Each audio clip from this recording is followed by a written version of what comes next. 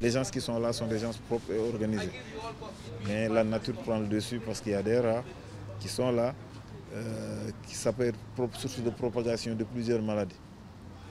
Les autorités savent et on laisse faire. Si la France n'avait pas bombardé la Libye de Kadhafi et autres, on n'en serait pas là.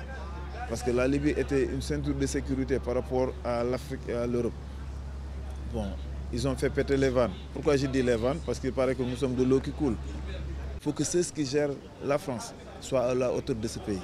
Ce pays est un grand pays et mérite de grands hommes. Mais au-delà d'un certain niveau, on dit que quand on n'est pas capable, on devient coupable. On est en train de voir, on attend.